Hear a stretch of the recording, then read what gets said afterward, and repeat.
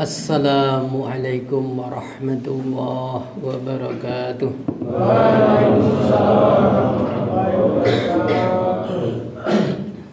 إن الحمد لله نحمده ونستعينه ونستغفره ونؤمن به ونتوكل عليه ونعوذ به من شرور أنفسنا ومن سيئات أعمالنا.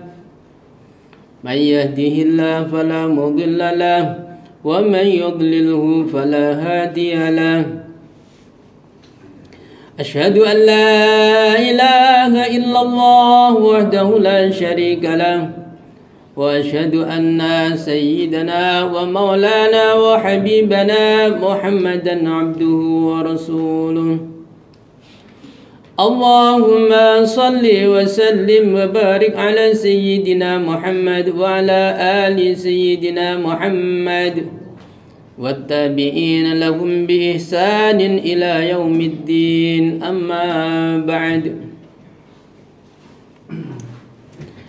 Hadirin yang dimuliakan Allah Yang terhormat Pak Dandim Bapak Kasdim Bapak-bapak perwira dan seluruh bapak dan ramil dan seluruh anggota TNI Kodim Magetan. Semoga dalam perjalanan kita semuanya diterima Allah Subhanahu wa taala di dunia dan di akhirat. Hadirin yang dimuliakan Allah Subhanahu wa taala, ini peringatan Isra Mi'raj. Dan bulan Rajab pun sudah selesai. Sekarang memasuki bulan Sya'ban. Artinya ini dua kali bulan, dua bulan diperingati hari ini. Berarti menunjukkan nanti amplop dan isinya juga dua kali. Hadirin yang dimuliakan Allah Subhanahu wa taala, Allah Subhanahu wa taala telah memberikan bulan-bulan yang sangat mulia kepada kita dalam setahun itu ada empat bulan yang mulia. Namanya Ashurul Hurum yaitu bulan Dhul Qa'dah bulan Dhul Hijjah bulan Muharram kemudian bulan Rajab. Inna iddat syuhur inda Allah isna ashara syahran fi kitabillah minha arba'atun hurum. Sesungguhnya bulan di sisi Allah dalam setahun itu ada 12 jadi dalam setahun dua bulan 12 bulan itu memang sudah ditentukan Allah nas Quran. Bukan karena penemuan seseorang bukan. Dalam empat bulan itu ada bulan haram yaitu Ashurul Hurum, bulan-bulan yang sangat agung, bulan-bulan yang sangat mulia. Di antaranya adalah bulan Rajab. Hadirin yang dimuliakan Allah Subhanahu wa taala, bulan Rajab ini bulan yang sangat mulia. Sangat begitu luar biasa. Kenapa? Sehingga sampai bulan ini pun disunnahkan untuk berpuasa. Sehingga bulan ini pun amal-amal apa saja kebaikan dilipat gandakan yang begitu besar. Jadi amalan pada bulan Rojab itu nilainya sangat tinggi, sangat agung, sangat mulia di sisi Allah Subhanahu wa taala dibanding bulan-bulan yang lainnya. Kenapa?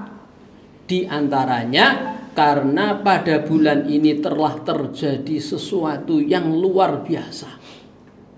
Telah terjadi sesuatu yang tidak mungkin dilaksanakan selain Rasulullah Shallallahu Alaihi Wasallam,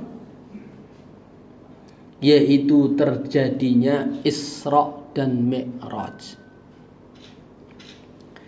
Hadirin yang dimuliakan Allah Subhanahu wa taala, setiap suatu kejadian tentu ada sebab musabab.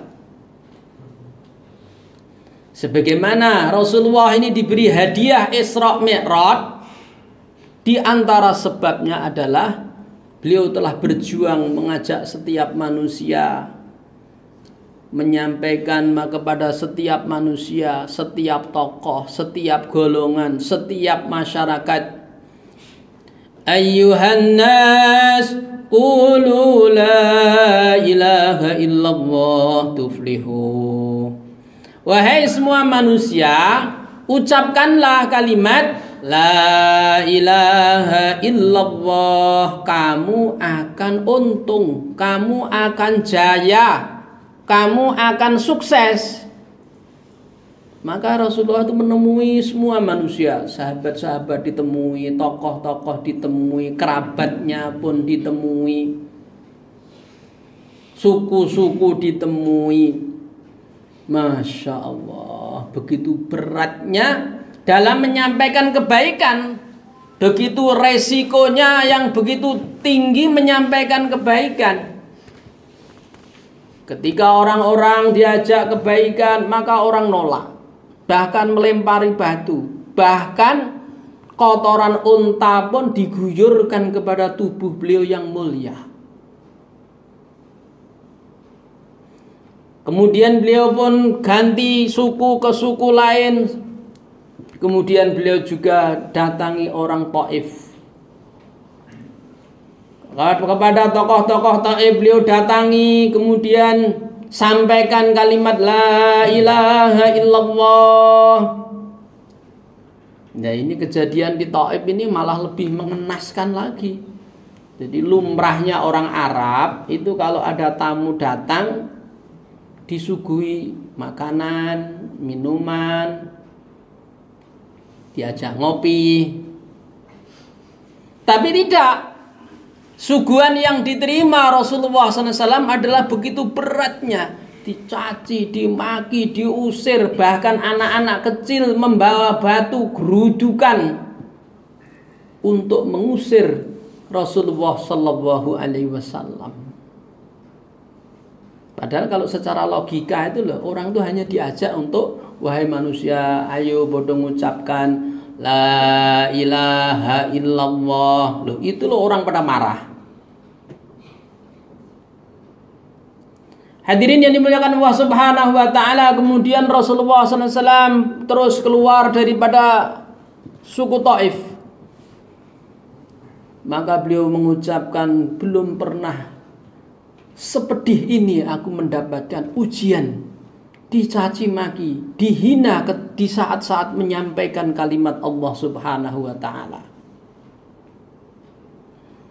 Maka beliau duduk di bawah pohon berhenti di situ setelah keluar daripada masyarakat Taif. Nabi doa, "Illam takun bika alayya ghadab fala ubali." Ya Allah, dah saya terserah jenengan mawon. Saya terserah engkau ya Allah. Seluruh manusia datangkan untuk membenci saya, ngusir saya. Selagi engkau tidak marah kepadaku, aku tidak peduli ya Allah. Begitulah hebatnya Rasulullah dalam menyampaikan kalimat kalimat Allah, menyampaikan kebenaran, menyampaikan kebaikan, begitu besarnya dan begitu beratnya ujian yang beliau terima. Semoga Bapak-bapak TNI Magetan diberi kekuatan yang hebat oleh Allah dalam menyampaikan tugasnya dan dalam menyampaikan daripada kebenaran. Hadirin yang dimuliakan Allah Subhanahu wa taala, kemudian di tempat itu Allah kirim Jin-jin pada datang. Qul uhiya ilayya annahu istama'a nafarun minal jinni faqalu inna sami'na qur'anan ajaba. Maka jin-jin oleh Allah didatangkan seolah-olah itu kalau manusia gak podo gelem rompo kebaikan, gak mau nerima kebaikan, makhlukku yang lain banyak. Jin-jin juga ada. Maka jin-jin pada datang mengucapkan kalimat Asyhadu an la ilaha illallah wa asyhadu anna Muhammadar Rasulullah. Jin-jin pun pada bersyahadat. Hadirin yang dimuliakan Allah Subhanahu wa taala, karena penderitaan demi penderitaan Rasulullah SAW dalam kesedihan istri beliau juga wafat yang selalu membela beliau paman pun juga wafat yang selalu mendukung perjuangan beliau maka saat itu Allah Subhanahu wa taala memberi hadiah yang namanya Isra dan Mi'raj. Maka Rasulullah SAW melaksanakan perjalanan Isra yaitu perjalanan dari Mekah menuju Baitul Maqdis. Dalam perjalanan ini banyak ilmu-ilmu yang bisa diambil untuk kehidupan kita. Di antaranya adalah dalam perjalanan ini Rasulullah SAW menyempatkan ziarah kepada istrinya Fir'aun Sayyidah Asiyah yang mana beliau itu orang wanita yang luar biasa. Beliau ini betul-betul kuat imannya, kuat agamanya, kuat memegang kebenaran. Jadi kalau Fir'aun itu mau mendekati Asia, waktu itu nggak bisa. Kalau mau mendekati nggak bisa. Kalau mau mendekati nggak bisa. Allah telah menjaga dia, menjaga beliau. Maka Rasulullah SAW berziarah kepada Sayyidah Asiyah. Dari sini bisa diambil pelajaran ziarah kubur itu boleh. Kalau ada orang nggak mengatakan ziarah kubur nggak boleh itu ya berarti minta dikubur dulu itu. Boleh mendoakan. Dan Nabi juga ziarah kubur. Ziarah kuburnya Sayyidah Asiyah. Hadirin yang dimuliakan Allah Subhanahu wa taala dari ziarah kubur ini juga menjadikan supaya kita ini memahami jadi menghargai pengorbanan seorang dalam memperjuangkan, menegakkan dan kesetiaannya dalam mengamalkan agama. Masya Allah bagaimana beratnya Sayyidah Asiyah itu. Istrinya saja seorang raja yang begitu kejam. Bukan hanya raja yang hebat, raja yang ngaku Tuhan. Masya Allah, itu kalau orang tuh sudah lewat batas. Orang sekarang nggak ada itu yang ngaku pejabat-pejabat presiden presiden yang ngaku Tuhan itu nggak ada. Terang-terangan ngaku Tuhan. Ana rabbukumul a'la. Saya ini Tuhan kamu tertinggi. Nggak ada orang sekarang ngaku begitu. Fir'aun tuh berani ngaku begitu. Nah Sayyidah Aisyah itu istrinya. Bagaimana beratnya beliau itu menanggung daripada ujian-ujian dalam keteguhan mengamalkan agama. Maka karena keteguhannya itulah beliau wafat, kemudian Rasulullah SAW diberi diperintahkan oleh Allah untuk ziarah kubur dan mendoakan kepada beliau. Hadirin yang dimuliakan Allah Subhanahu wa taala terus beliau berjalan menuju Baitul Maqdis yang sekarang di Palestina itu. Maka di situ berkumpullah telah menunggu para nabi, para rasul. Arwahnya para nabi, para rasul semua berkumpul di situ. Kemudian Rasulullah SAW diminta untuk imam sholat ini menunjukkan apa? Menunjukkan adalah begitu agungnya, begitu mulianya, begitu hebatnya Rasulullah sallallahu alaihi. Karena menunjukkan bahwa nabi adalah nabi yang tertinggi, pimpinannya para nabi.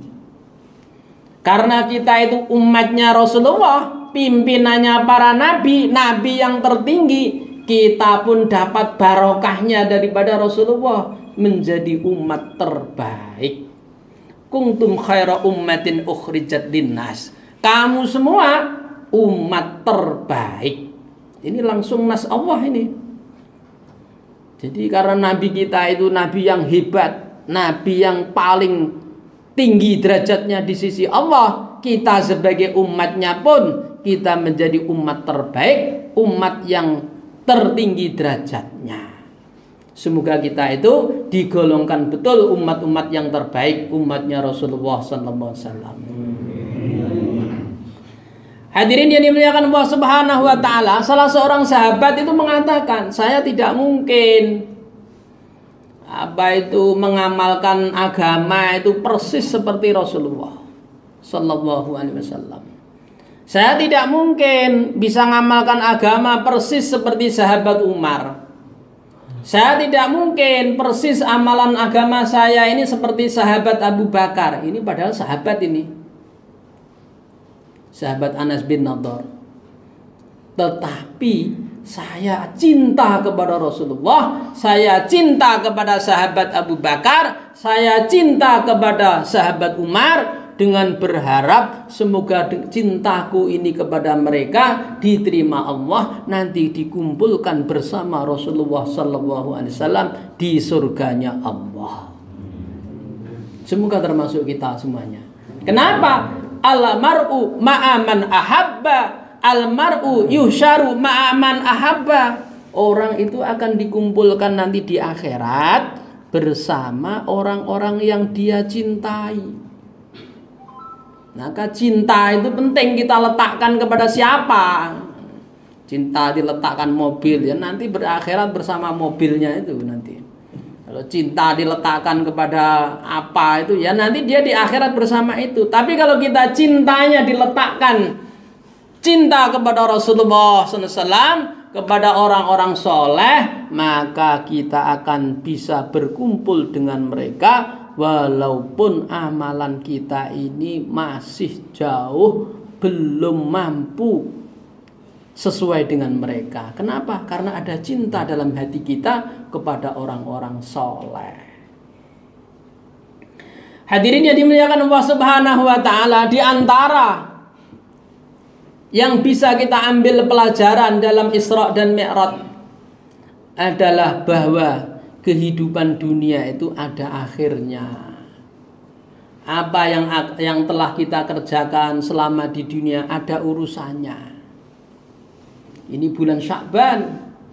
Jadi setiap tanggal 15 Syakban itu ada pencatatan jadwal kematian dalam tahun tersebut. Jadi setiap bulan Syakban itu ada datanya yang makan mati dalam setahun itu berapa? Berapa ribu? Itu ada datanya. Nanti dilaporkan kepada Allah.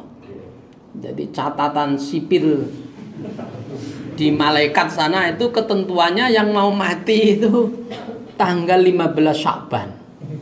Nanti dilaporkan. Ini Pak Komandan umurnya panjang. Oh, belum mati. Ini anggota TNI Magetan Panjang umurnya, tambah barokah rizkinya. Oh, belum mati. Makanya walaupun kena apa pun ya nggak akan menjadikan kematian. Kenapa? Belum mati. Karena catatan tanggal 15 Syaban belum ada data kematian. Itu. Itu dalam kitab Al-Mutajarrobeh saat Rasulullah SAW ditemui oleh Sayyidah Aisyah, "Ya Rasulullah SAW, apa sebabnya engkau kok berpuasa sebulan penuh pada bulan Syakban? Jadi bulan Syakban Rasulullah SAW itu puasa penuh. Saya senang pada bulan Syakban.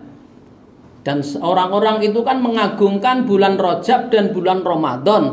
Lah bulan Syakban banyak orang yang tidak tahu, maka saya berpuasa penuh. Saya berharap pada bulan Syakban ini nanti jika nyawaku tertulis dalam kematian, saya dalam keadaan berpuasa. Jadi bulan Syaban itu ada catatan daftar-daftar setiap tahun yang mau mati. Berapa juta yang mati dalam setahun itu nanti bisa dilihat di catatannya Pak Yang mau lihat nanti boleh-boleh saja nemui malaikat Israel. Hadirin yang dimuliakan Allah Subhanahu wa taala. Kita itu dalam setiap hari ada ada laporan. Amal-amal kita itu dilaporkan. Setiap pagi, setiap sore itu dilaporkan oleh malaikat. Karena ada malaikat yang sip penjaga siang, nanti laporannya pagi. Ada sip yang laporan nanti jaga malam, laporannya pagi. Sip bagian siang, laporannya sore. Maka kalau kita itu nggak bisa ibadah penuh 24 jam minimal tutup kendang lah. Sholat subuh, ya kalau nggak bisa jamaah lima waktu ya minimal istiqomah semuanya. Sehingga apa? Nanti pada subuh wirid. Akhirnya ditulis, "Ya Allah, ini wirid ternyata luar biasa. Ba'da sholat wirid laporannya the best. Wirid. Begitu juga sore. Mulai sore itu, mulai pada menjelang maghrib, malaikat pun laporan kepada Allah. Ya Allah, ini pulang telah melakukan ini, telah berbuat baik ini. Oh, bagus. Hadirin yang dimuliakan Allah Subhanahu wa taala, setiap hari ada laporan-laporan sip daripada para malaikat pagi dan sore. Begitu juga dalam sepekan, malaikat itu juga ada laporan dalam sepekan dua kali, yaitu hari Senin dan hari Kamis. Setiap hari Senin selama tiga hari nanti yang telah dikerjakan apa, maka itu dilaporkan kepada Allah Subhanahu wa Ta'ala. Senin sampai Kamis nanti dilaporkan lagi apa yang telah diperbuat dilaporkan kepada Allah. Begitu juga dalam setahun itu ada laporan-laporannya. Jadi ada audit. Malaikat itu ada audit bukan daripada Pak Dandim saja. Masya Allah. Semoga kita selamat daripada auditnya Allah Subhanahu wa taala. Hadirin yang dimuliakan Allah Subhanahu wa taala, di antara pelajaran-pelajaran yang bisa diambil bahwa kita itu dalam perjalanan menuju akhirat. Siap ya ke akhirat, tidak siap ke akhirat.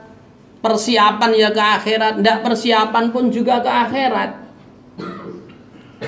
Maka kita itu harus ada menyisihkan waktu.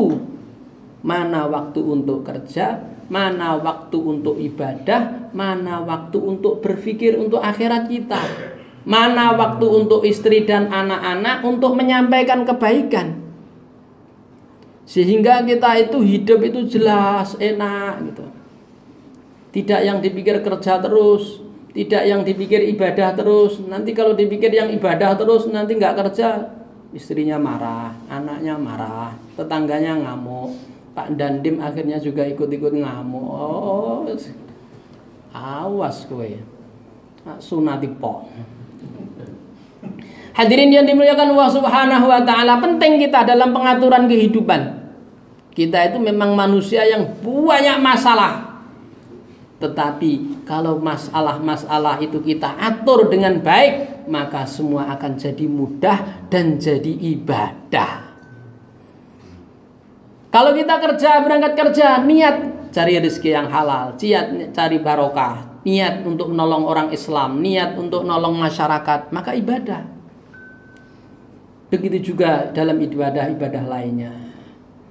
Hadirin yang dimuliakan Allah Subhanahu wa taala, termasuk pelajaran yang terpenting daripada Isra dan Mi'raj itu mengingatkan kepada kita bahwa kita itu juga akan ke akhirat. Jadi di Baitul Maqdis sana itu ada tangga yang dulu untuk tangga Rasulullah SAW naik ke ke Sidratul Muntaha di situ orang-orang iman itu kalau naik ke langit ketika mati lewatnya situ itu di antaranya tangga lewatnya orang-orang iman di saat mati itu lewatnya di situ Adapun kalau orang-orang tidak ya Islam, tidak beragama Islam, maka itu ngumpulnya itu di Barhut.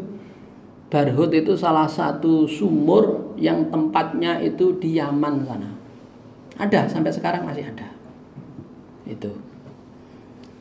Hadirin yang dimuliakan Allah Subhanahu wa taala termasuk pelajaran-pelajarannya itu banyak sekali. Kalau kita ceritakan nanti sampai asar bapak nggak pulang akhirnya saya malah diamuk nanti.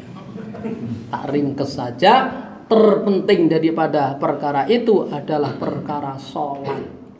Sholat ini perkara penting karena kalau orang itu setiap ada masalah melaksanakan sholat maka Allah akan mudahkan jalan keluarnya Rizkinya seret sholat. Tugasnya berat sholat. Dua rakaat sholat hajat. Insya Allah nanti Allah akan berikan ilham-ilham, kemudahan-kemudahan daripada masalah itu. Maka kalau orang-orang sholat, para kiai, para ulama itu kalau terjadi masalah-masalah berat sholat. Ada masalah apa saja sholat. Dan nanti setelah sholat, apa ilham pemberitahuan Allah? Yaitu nanti itulah yang terbaik.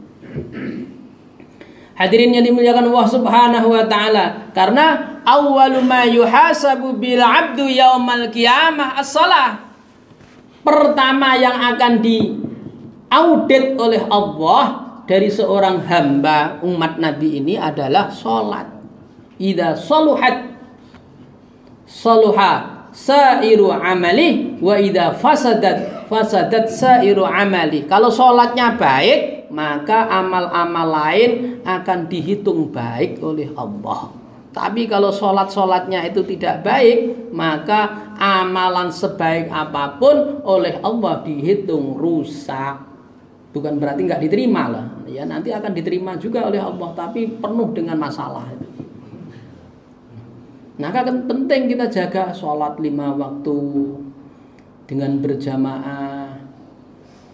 Ya mungkin awal-awal kita berat lima waktu. Ya minimal maghrib isya nanti ditambah subuh nanti ditambah duhur ditambah asar. Kita jaga sholat jamaah mumpung kita masih hidup. Karena nanti kalau kita sudah nggak hidup lagi kita mau sholat seribu tahun pun nggak akan mungkin itu hadirin yang dimuliakan Allah Subhanahu Wa Taala ini ada satu kejadian yang luar biasa. Ada seorang seseorang itu orang Malaysia. Dia itu dalam keadaan tiap hari itu membaca Quran. Baca Quran, padahal nggak bisa baca Quran, tapi dia melihat Quran itu seperti bawa tuding, orang orang Jawa bilang, bawa tuding itu seperti baca diurut diurut ke bawah dari atas ke bawah ke atas ke bawah. Setelah itu doa. Ya Allah saya ini belum bisa membaca Quran. Saya belum paham Quran. Saya belum tahu isi Quran. Tapi saya berharap kepada engkau matikan saya ini bersama-sama dengan Al-Quran. Maka di saat itu itu setelah sekian hari meninggal setelah sekian hari itu meninggal maka Allah tampakkan kubur itu bercahaya. Sangat terang. Dari kubur itu sampai ke langit. Kemudian orang yang lihat itu dicap nyari siapa ini? Makomnya siapa ini? Kok luar biasa? Akhirnya setelah dicari ketemu keluarganya begitulah ceritanya. Tiap hari membaca Quran kemudian doa. Ada orang Temboro pak beberapa ya sudah lama sekian tahun sudah meninggal dunia. Dia itu menjaga sholat jamaah. Rumahnya itu depan masjid al amanah selatan pasar Temboro itu. Dulunya sholatnya bolong-bolong juga itu. Tapi istiqomah sholat. Terus kemudian beliau sebagai muadzin tiap hari sebagai muadzin. Di saat meninggal masya Allah kemarin terjadi istrinya itu meninggal dunia saat covid itu. Termasuk yang memakamkan adalah bapak-bapak Polres. Begitu meninggal mau dikuburkan berbarengan dengan suaminya terjadilah sesuatu yang luar biasa. Jasadnya suami yang menjaga sholat jamaah utuh dalam keadaan sudah sekian tahun Pak. Ini nyata masih ada. Kalau Bapak ingin lihat silahkan digali kuburnya. Nyata. Dan itu banyak di Temboro. Banyak. Santri-santri yang sudah wafat sekian tahun, sekian puluh tahun itu. Banyak. Ketika ada temannya meninggal, kemudian digali. Loh ternyata masih utuh. Seperti baru dimasukkan. Nah inilah perkara penting untuk kehidupan kita karena kita hidup nggak lama, kita nggak tahu kapan kita berangkat ke akhirat. Kapan kita ini akan dipanggil oleh Allah? Kita nggak tahu. Yang jelas perkara pasti. Mohon maaf, mungkin ada yang siap untuk ngacung yang nggak ingin mati. Kalau nggak ingin mati berarti nggak ingin surga. Kalau nggak ingin surga berarti ya ingin susah terus. Maka penting kita niat, kita itu ada cita-cita bagaimana kehidupan kita lebih baik, akhirat kita lebih baik, keluarga kita lebih baik, yaitu dengan besandarkan daripada agama Allah Subhanahu wa taala. Kurang lebihnya mohon maaf ini yang bisa kami sampaikan. Semoga dengan adanya peringatan ini mengingatkan kita yaitu supaya kita ini lebih sungguh-sungguh untuk mengamalkan agama. Dan ini saya juga mengundang kepada Bapak semuanya Tiap malam Jumat itu ada pengajian di Temboro Di Masjid Rangkil itu Ya bila berkenan dan ada waktu silahkan datang Hadirin yang dimuliakan Allah Subhanahu wa taala. Kemarin saya itu silaturahim Pak Dan Rem. Beliau bilang, "Mbah Birin, itu seluruh kodim kawasan Korem diisi ngaji nggih." Nggih, insya Allah. Walaupun sampai sekarang saya belum bisa semua itu. Kemarin ketemu dan Lanut Pak Irwan. Mbah, itu semua satuan di Lanut Mas Pati diisi ngaji lah. Supaya hidup suasana agama. Insya Allah. Walaupun juga belum semua karena itu ada kurang lebih 16 kesatuan itu ada Denhanut, ada Paskas, ada Avionik, ada Sekatek, ada Disop dan lain sebagainya. Itu kurang lebih ada 16 kesatuan, ada di 80. Kita baru memasukinya ada 8 9 tempat. Kemarin juga diundang ke Dan Pomdam Surabaya, Pak Reza. Beliau sampaikan, Mbah Birin itu semua se-Jawa Timur, CPM supaya diisi kaji itu kantornya itu. Insya Allah. Kalau kita ini niat kan baik kan, walaupun kita belum melaksanakan semua, kita niat melaksanakan. Tapi kalau uh, minimal ya niat, pengen, cita-cita. Semoga cita-cita kita diterima Allah. Hadirin yang dimuliakan Allah Subhanahu Wa Taala, masih banyak juga tempat-tempat lain juga. Kemarin ada jenderal-jenderal yang sepuh, yang aktif dan purna ngundangi saya untuk hadir di pertemuan di Bogor keluar tiga hari di Bogor. Masya Allah gimana saya sampai pusing. Piye iki kon rene kon rene diminta rene. Mumpet dhewe Semoga kita umur kita kehidupan kita semua kemampuan kita yang telah diberikan oleh Allah Allah barokai barokah dunia barokah akhirat. Dan sebentar lagi ini adalah Ramadan. Semoga Allah berikan kita rizki yang banyak rizki yang barokah rizki yang mendatangkan kebaikan-kebaikan kita untuk dunia kita dan akhirat kita kurang lebihnya mohon maaf. Subhanakallahumma wa bihamdik. Asyhadu an la ilaha illa anta. Astaghfiruka wa atubu ilaik. Wassalamu alaikum warahmatullahi wabarakatuh